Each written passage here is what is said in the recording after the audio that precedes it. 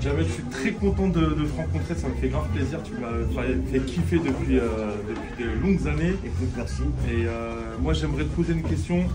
La paire qui t'a fait kiffer dans ta jeunesse, Ah, il y en a eu plein. C'est une colle, ça. si tu devrais en garder, en garder qu'une, La Cortez. la Cortez, La Cortez. un colorant particulier Euh, J'aimais bien celle qui était en tissu. En tissu, ouais. en cuir. Et j'adorais.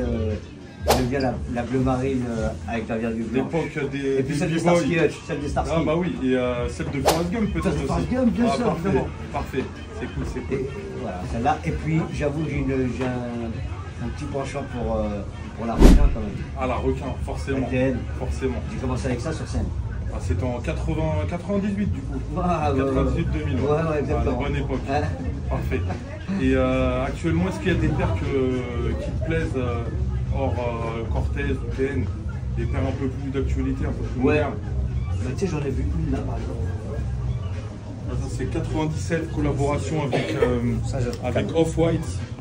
Et ça, c'est vrai que c'est- vraiment pas mal. Ça reste dans l'esprit un peu des, euh, des requins quand même. Comment ça T'es prêt Vas-y. 1200 euros. Non, mais la tête de ma mère vaut aussi là, viens. Eh, coupe la caméra, coupe, coupe.